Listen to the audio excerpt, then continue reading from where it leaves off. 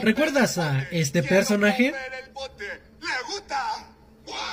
Claramente todos recordamos a este maravilloso personaje animado que es el Rey Julien. ¿Y qué animal se trata en la vida real? Pues básicamente se trata de un lemur de cola anillada. Así es que el día de hoy hablaremos sobre los lemures de cola anillada. Primero, su nombre científico es Lemur cata y provienen obviamente de la isla de Madagascar.